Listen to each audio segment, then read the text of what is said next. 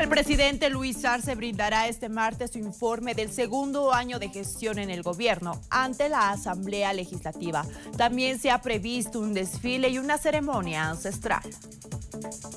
El 8 de noviembre del 2020, tras ganar las elecciones con el 55.11%, Luis Arce fue posesionado como presidente del país. Este martes cumple dos años de gestión y se apresta a dar un informe a la Nación.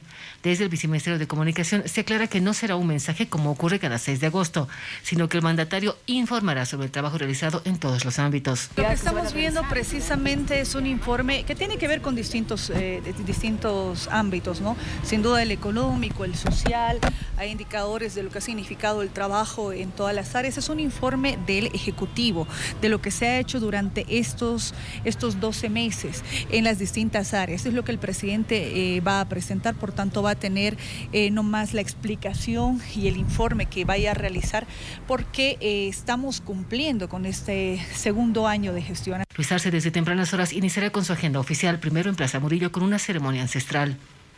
Posteriormente estará en Casa Grande del Pueblo mientras inicia la sesión de honor de la Asamblea Legislativa.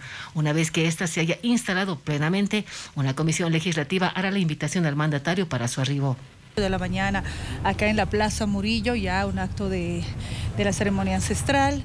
Eh, se tiene previsto que la sesión de la Asamblea, a la cabeza del presidente Tato de la Asamblea, el hermano David Choquehuanca está arrancando a las 10 de la mañana, él va a tener sus, eh, también su informe y luego se lo va a convocar al presidente Luis Arce.